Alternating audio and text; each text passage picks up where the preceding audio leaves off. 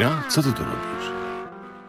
Witam wszystkich bardzo gorąco oraz serdecznie na kanale Swayplay. Ja właśnie obejrzałam pierwszy odcinek trzeciego sezonu Wiedźmina na Netflixie i z racji, że mam teraz trochę więcej czasu, znaczy jeszcze mnie czeka obrona, ale generalnie będę miała więcej czasu, to postanowiłam, że zrobimy sobie na kanale omówienie szczegółowe każdego odcinka po kolei. Ja nie widziałam kolejnych odcinków, nie wiem jak będzie dalej, ale na razie nie jest wcale tak źle, jak się spodziewałam. I mówię to naprawdę nieironicznie. Oczywiście to wciąż nie jest adaptacja książek, ale generalnie patrząc na to, co zrobili w drugim sezonie, jak bardzo to wszystko spieprzyli, to w pierwszym odcinku jakoś udało im się to naprawić i są pewne elementy z książek. Co prawda chyba więcej się pojawia w związku z pierwszym jakby książką całej sagi, czyli Krew Elfów, ale to pewnie tam w kolejnych odcinkach będzie tego więcej, więc bez zbędnego gadania ja zapraszam Was na moje media społecznościowe i zaczynajmy! Odcinek zaczyna się tak, że wchodzi jakiś czterech gości. Jeden z nich przypomina trochę magistra z pierwszego Wiedźmina. Ja cię pierdolę, tarcza Alzura. Magister, zajmij się nim. Nie mam przeciwzaklęcia. I oni tam chyba nawet na niego wołają profesor, ale nie przywiązujcie się do niego za bardzo. W każdym razie pytają oni o Ciri i Geralta. I informują, że Rins sowicie wynagrodzi za informacje o tej dwójce. No ale Wiedźmin nie będzie czekał, aż go znajdą, więc sam daje sygnał, gdzie jest i zaczyna się walka. Krótka, ale efektowna i mówiłam, żeby się nie przywiązywać do pana profesora, bo traci głowę. I tutaj zaczyna się przez Netflixa jakby naprawianie tego, co spieprzyli w drugim sezonie, no bo mamy naszą trójkę bohaterów głównych, czyli Ciri, Geralt i Yennefer, podróżujących od domu do domu, ukrywających się przed ludźmi Rinsa i nie wiem, przed kim tam jeszcze, przed jakimiś ludźmi, którzy po prostu chcą ich zabić. Geralt płaci każdemu z gospodarzy za dyskrecję. Nie ma tutaj pokazane, żeby wykonywał jakiekolwiek zlecenia, ale najwidoczniej skądś ma pieniądze, bo było to wielokrotnie pokazywane, jak przekazuje on pełny mieszek pieniędzy tym ludziom, u których się zatrzymują, więc skądś kasę muszą mieć. No i mamy tutaj taki motyw, że Yennefer w sumie pisze do Geralta listy, bo oni ze sobą nie rozmawiają, ponieważ Wiedźmin jest na nią zły. Na pewno każdy pamięta słynny list drogi przyjacielu do Geralta i Yennefer wtedy chciała się odegrać za dwie rzeczy. Po pierwsze, że on ją pierwszy nazwał przyjaciółką w liście, a po drugie, że po poprosił o pomoc Tris, a nie ją. Tak więc w tych listach ona go zapewnia o tym, że jest jej przykro, że już więcej tak nie zrobi i że będzie chronić Ciri. Jednak Wiedźmin cały czas ma posępną minę. O, tutaj nawet widać na tym ujęciu, że ona mu tam zostawia te liściki, tak? Na razie Wiedźmin z tego co mi wiadomo jej nie odpisuje. A co to za gówno? Mamy też jeszcze jeden motyw zaczerpnięty z krwi elfów, czyli, czyli nauka magicznych arkanów. Yennefer uczy Ciri jak korzystać z magii i twierdzi, że Ciri ma potencjał, ale nie ma talentu. Pojawia się taki motyw z pierwszego sezonu, gdzie pierwsza lekcja Ciri to jest pierwsza lekcja, jaką ona miała z Tisają, czyli tam Zelil Ape czy coś takiego. Nie wiem, czy to zostało jakby pominięte specjalnie, czy to jest niedopatrzenie, ale wtedy było pokazane, że ona potrzebuje poświęcić coś, żeby móc z tej magii korzystać, a tutaj tego nie ma. Po prostu podnoszą sobie kamień i dobra. No Wiedźmin to wiadomo, tam poluje, zajmuje się domem, robię drewko, takie tam. Tak mijają dni, tygodnie, miesiące i za każdym razem zbiry Rinsa znajdują ich, tutaj na przykład spalili im te mieszkanie, w którym się znajdowali. Przenoszą się do kolejnego domku. Tutaj mamy jakieś piękne CGI, zawsze można poznać po tym, że oni dodają taki efekt mgły. Tak samo było w tym, no jak to się nazywało? Rodowód krwi, czy jakoś tak, tam też jak był, był rzut na Cintrę, to zawsze było to wszystko za taką jakąś mgłą, nie wiem. Geralt płaci za kolejną melinę, i jest mu wyraźnie smutno, jest niezadowolony z tego, że ta sytuacja jest taka napięta, ale duma nie pozwala mu wybaczyć Yennefer. Oni się tutaj wygłupiają, mają dzika, kolejna nauka magii i patrzcie, jest pokazana nowa zbroja Wiedźmina, która mi się bardzo podoba, uważam, że jest o wiele lepsza niż ta w drugim sezonie. Widać tutaj na pasku ma eliksiry za tą paleryną, generalnie fajnie to wygląda, naprawdę. Szkoda, że nie dostaliśmy właśnie tej zbroi do gry, bo jest moim zdaniem o wiele lepsza niż ta z drugiego sezonu sezonu. Niestety nasza trójka była zmuszona opuścić to miejsce, gdzie się znajdowali, ale udają się do Jarpena Zigrina. Jak widać, e, są oni w jakimś mroźnym miejscu, najprawdopodobniej jest to też zima i oni będą tutaj mieszkać przez bardzo długi czas, będą tutaj bezpieczni, bo później tak naprawdę będą zmuszeni opuścić to miejsce dopiero na Belletain. A ta impreza, ten festyn jest organizowany z 30 kwietnia na 1 maja, więc trochę tam zabawili. Wiedźmin rąbie drewno, Jestem taki zabiegany. I tutaj mamy taki motyw trochę zaciągnięty też z książek, bo Ciri uczy Yennefer jeździć na łyżwach. A jak wiemy, y, nasza księżniczka uczyła się tego na Skellige i była nawet lepsza od Hjalmara. O, patrzcie jakie są szczęśliwe. Upadł sobie głupi rej rozwalił. W przeciwieństwie do mroźnej pogody serce Wiedźmina powoli zaczyna topnieć i Yennefer dostaje pozwolenie, że może z nimi jeść przy jednym stole. Dosłownie, ona po prostu wpada i mówi, że no, chce przyjść do nich na kolację, no i od tamtej pory już są sceny pokazane, jak oni sobie razem jedzą. Czyli wcześniej, nie wiem, Yennefer chyba jadła z miski jak piesek.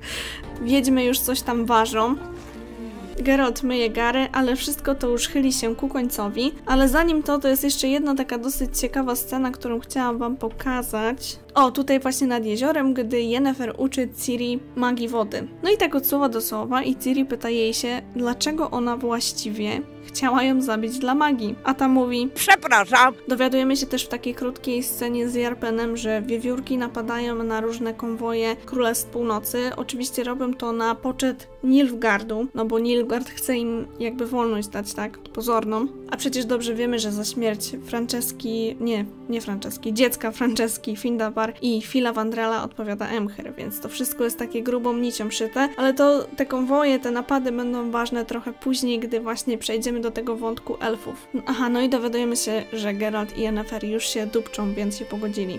Znowu się grzmocicie? Subtelnyś. I tutaj przenosimy się e, w zupełnie inne miejsce, bo mamy pokazanego tresera potworów, który lubi sobie wciągać fistek i on hoduje jakieś ogaro karaczany czy coś takiego. W każdym razie one mają bardzo wyczulony węch i potrafią dzięki temu zmysłowi tak naprawdę każdego wytropić. Więc wpada tam Rins i stwierdza, że on w sumie tego potwora to by chciał wziąć w leasing, bo tak się składa, że przecież ukradł wtedy z laboratorium w Kermoren trochę krwi Cyrilli. Zatkaj ten chędożony flakon.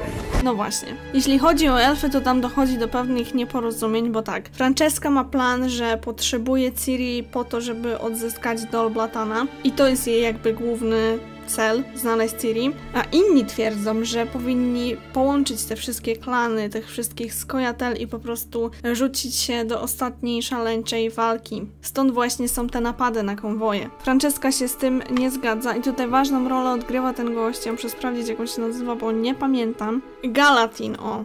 On się nazywa Galatin. Ja na początku myślałam, że to jest Isengrim Folitiarna, I Sengrim Faolitiarna, stali wiewiórek. Bo ma taką szramę na policzku, ale nie. No i on bardzo mocno ją namawia do tego, żeby wysłała więcej oddziałów, żeby razem się połączyli, żeby walczyli. Wizimir coś tam pierdoli Dijkstrze, jak widać, ten nie, nie jest za bardzo zadowolony, że przecież obiecał mu księżniczkę Cyrilla, ten czeka, czeka, tutaj nie ma żadnych efektów i najlepiej będzie, jak w końcu zajmie się tym ktoś, komu ufa, czyli jego brat Radowid. Tamina po prostu mówi wszystko, co Dijkstra uważa o Radowidzie i czy ma kompetencje do tego, żeby odnaleźć Cyrillę. No i Filipa i Dijkstra knują, że no jak to tak, przecież to oni mieli walczyć, a ten Wizimir to jest w ogóle debil i on się nie zna i to oni powinni być u władzy i czemu oni muszą go usoliwać i tak dalej, i tak dalej. Wiecie, intryga. Nasz pakt, jak stary by nie był. Wydłuża nam młodość. Tego nie rozumiem. Jeśli to zrobię, po powrocie tylko ja będę wydawać rozkazy. No właśnie, Filipa ma coś zrobić w zamian za władzę. Z racji, że Jarpen się wygadał, że niedaleko ma się odbyć festyn z okazji Belletain, to Ciri bardzo chce tam pójść, no i dziewczyny się szykują do wyjścia. Sam festyn generalnie jest fajnie zrobiony, podoba mi się klimat tego, jak to zrobili, ale jest jeden mały szkopuł, bo Wiedźmin powiedział, że Ciri może pójść pod warunkiem, że będzie miała zakrytą twarz. I ona rzeczywiście ma jakąś taką maskę ze sobą, zajebiście zasłania twarz. No, dziewczyna ominęła twarz o jakieś 50 centymetrów. Dosyć to wszystkiego. Później już w ogóle chodzi bez tej maski, więc.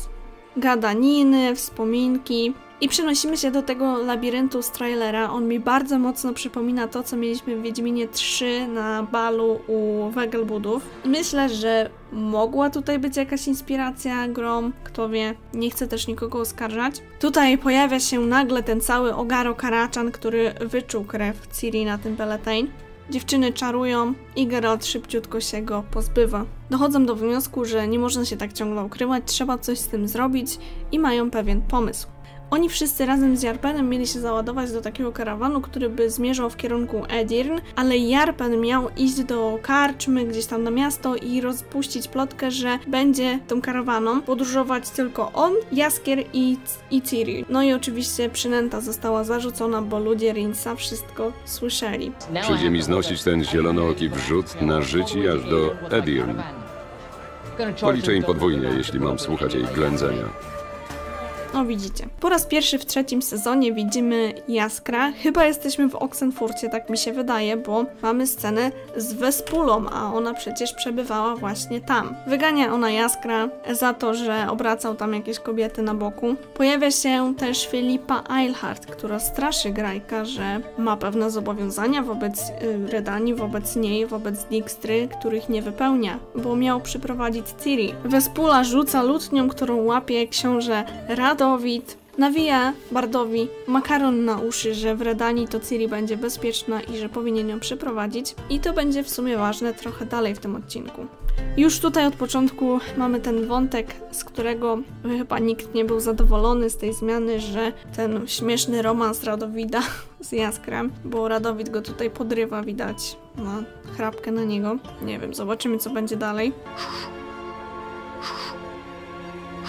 Oni odchodzą i wtedy wpada Zigrin, który mówi mu o tym planie, że musi pomóc swoim przyjaciołom i zostać przynętą. Tak sobie podróżują i rozbijają obóz koło Sheravet, czyli tych starych elfich ruin. I właśnie tutaj jest idealne połączenie tego, o czym mówiłam, czyli mamy trochę krwi elfów, trochę inwencji twórczej Netflixa, oczywiście też trochę czasu pogardy, ale tu potem, bo Wiedźmin opowiada Cyrilli historię Eliren, pewnej elfce, która 200 lat temu, wbrew starszyzny i temu, co oni uważali za słuszne, poprowadziła młodzież do walki z ludźmi, do szaleńczej walki, w której wszyscy zginęli. Starszyzna chciała zniszczyć wszystkie miasta, które wybudowali i udać się w góry po to, żeby przetrwać, przeczekać, bo elfy są długowieczne i uważali, że ludzie przeminą Przeminą mi jak susza, jak sroga zima, jak plaga szarańczy, po których przychodzi deszcz, wiosna, nowy urodzaj. I jest to, o dziwo, praktycznie wiernie odwzorowane właśnie w tym odcinku. Oczywiście w książce nie było z nimi Yennefer, ale to szczegół.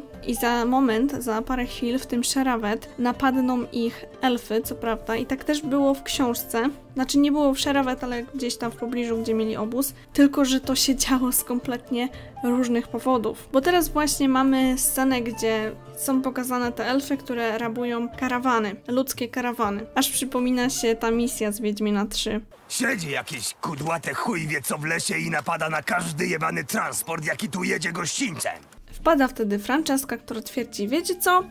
Ja sobie to przemyślałam i no chyba jednak będziemy z wami walczyć, połączmy siły, zawalczmy o naszą wolność, będzie fajnie. A z racji tego, że Jarpen przecież prowadził karawanę, no to mieli napaść właśnie na nią. Tylko, że Franceska była podstępna i od początku wiedziała, że wcale nie chodzi o żaden prowiant, ani broń, ani o jedzenie, tylko o to, że podróżuje z nimi Ciri i po prostu ich okłamała. Ciri w tych ruinach trochę się przed nami otwiera i mówi, że ona nie chce podziałów, nie chce rasizmu, chciałaby, żeby między ludźmi, między elfami zapanował pokój, bo przecież ma w sobie krew i ludzi, i elfów, więc ona rozumie obie strony i chciałaby równowagi, nie chce walki po prostu. I w książce w ramach tej całej historii o Eliren, Wiedźmin próbował Ciri przetłumaczyć, jak bardzo ważne jest zachowanie neutralności w tej całej walce. Czy rozumiesz teraz, czym jest neutralność, która tak cię porusza? Być neutralnym to nie znaczy być obojętnym i nieczułym. Nie trzeba zabijać w sobie uczuć. Wystarczy zabić w sobie nienawiść. Czy zrozumiałaś? Ten dialog, który przed chwilą słuchaliście, to są właśnie te różnice pomiędzy książką a serialem. Przepaść, której nie da się w jakikolwiek sposób załatać, ponieważ Ciri w serialu jest dużo, dużo starsza. W Krwi Elfów, gdy Ciri była w tych ruinach Sheravet, ona była jeszcze dzieckiem. Tutaj ona już jest taką prawie dorosłą nastolatką, która jest w stanie decydować sama za siebie, a tam Wiedźmin jeszcze jej kładł do głowy, wiecie o co chodzi. Próbował jej wpoić pewne wartości, które uważał za słuszne. Dobra, ale koniec tego dobrego, bo nagle wpada Rinc ze swoją zgrają i chcą porwać Cyrillę. Oczywiście Człowieku, nie popisuj się przy swoich koleżkach z takim mózgiem jak ty, człowieku. Rinc to skończony debil w tym serialu i nawet w ogóle nie zauważył, nie wiem, nie domyślił się, że gdzieś w pobliżu, tak dokładnie to za jakąś kolumną czy za jakąś skałą stoi Geralt z Yennefer. Wiedźminka spuszcza im w pierdol, przyłączają się Yennefer oraz Geralt i w pewnym momencie Rinc otwiera portal, przez który przeskakuje, a za nim wpada Geralt. W ogóle ta walka jest bardzo dobrze zrobiona, muszę to przyznać, bo naprawdę jest efektowna, fajnie się ją oglądało. I ta scena z portalem też była fajna, podobała mi się. Czekamy na Geralta. W czasie, gdy Geralt walczy z Rincem, to Yennefer podtrzymuje ten portal, żeby miał jak wrócić i do walki nagle wpadają elfy. Tak jak mówiłam wcześniej, w Krwi Elfów też była taka walka. Tak jak tutaj Ciri jest taka nieulękła i nie boi się tej walki, tak w książce sparaliżował ją w pewnym momencie strach, bała się śmierci i tylko Geralt ją uratował przed ostatecznym ciosem. I ten gość od szczurka poznał Ciri. Elfie strzały przechodzą przez portal i Wiedźmin już wie, że coś jest nie tak, więc łamie tylko Rinsowi nadgarstki i stamtąd ucieka, żeby ratować swoich bliskich. Jaskier dostaje niegroźną strzałę w plecy i nasi bohaterowie razem z krasnoludami wygrywają walkę z bandziorami Rinsa i z elfami. Później dowiadujemy się od Czarnowłosej, że ten portal był jakiś spaczony. Zawierał w sobie jakąś taką ciemną magię. I na tej podstawie Yennefer twierdzi, że Rins nie działa sam. Rins nie jest jedynym magiem, z którym mamy do czynienia. Prowadzi go ktoś potężniejszy. Proszę? W każdym razie czarodziejka potrzebuje pomocy z tą całą magią i chce jechać do Tisa i do Retuzy. Wiedźmin mówi, że w sumie to on by wolał pojechać zabić Rinsa i się rozdzielają. Mamy później taką scenę z tkliwym pożegnaniem i Geralt rusza do Banglan, gdzie czeka na niego Jaskier. I teraz tak, w kwestii elfów jest chyba nieciekawie, bardzo nieciekawie, bo w tym ataku zginęło całkiem sporo elfów. Zginął brat Franceski Findabar, a jak wiemy oni mają ograniczone zasoby ludzkie. Ludzie tego elfa z, z tego już zapomniałem jak on tam się nazywał, też zginęli. No i się wkurzył słusznie, bo został oszukany, mieli atakować karawanę, a tu się okazało, że to był jakiś atak na księżniczkę. Stwierdza więc, że trzeba poprosić o pomoc jakiegoś tam jego starego przyjaciela. Ja nie oglądałam kolejnych odcinków, więc jeszcze nie wiem kto to jest. Tu jest to pożegnanie. Yennefer chyba chce buziaka, ale Wiedźmin jej nie daje tego buziaka. I już na sam koniec mamy rozwiązanie tej całej sprawy Jaskra i Radani, bo stwierdza, że przystaje na ich propozycję. Warunek jest taki, że mają oni zabić Rinsa, bo w ten sposób zdobędą zaufanie Ciri, jego i Geralta, w co szczerze wątpię. Że tak będzie, na pewno tak nie będzie. Nie wiem, czy to jest jakiś podstęp Jaskra, żeby zabili tego Rinsa, czy on rzeczywiście uważa, że oni w Redani będą bezpieczni. Oczywiście Ciri nie będzie na pewno bezpieczna, bo zostanie wykorzystana. Wiedźmin po raz pierwszy odpowiada na list Yennefer, pisze, że rzeczywiście boi się o Ciri i chyba wybacza Yennefer już tak raz na zawsze. Rins ma ponaprawione ręce. W ostatniej scenie mamy Emhyra, który wrzuca fotografię swojej rodziny, swojej zmarłej żony do koksownika, ale zostawia sobie zdjęcie małej Ciri. Nie wiem, czy tęskni, czy o co mu chodzi, ale tak wiecie, przytula do piersi sobie to zdjęcie, o, tako. I to tyle. Pierwszy odcinek naprawdę nie był taki zły. Oczywiście różni się diametralnie od tego, co jest w książkach. I wiem, że może mnie teraz zjedziecie, że w ogóle głupoty gadam, że jak mógł mi się podobać, przecież to Netflix, bla bla bla. Ale przypominam wam, że pierwszy odcinek drugiego sezonu też był niezły. Był, naprawdę był dobry. Później po prostu wszystko poszło z górki. Drewniany eskel, jakieś demony, dinozaury. Mam nadzieję, że teraz to nie pójdzie w tym kierunku, ale może i jak zobaczę kolejne odcinki, to się będę z tego śmiać, co teraz powiedziałam. Dziękuję wszystkim moim wspierającym z całego serduszka. Życzę Wam miłego dnia albo miłej nocy i do zobaczenia. Pa!